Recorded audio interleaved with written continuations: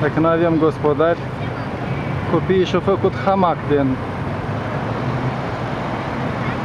afișul ăsta publicitar din piața universității în fața Teatrului Național.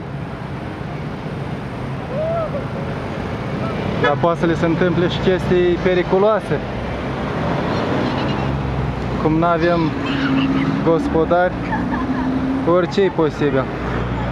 În centrul capitalei. În inima Bucureștilor. Primăriei mai la vale.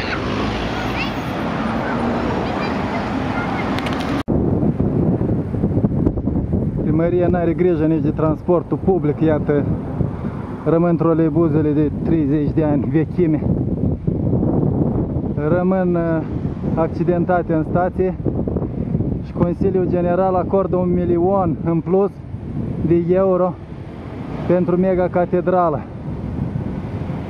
Nu e așa că sunt irresponsabil, că-ți duci cu pluta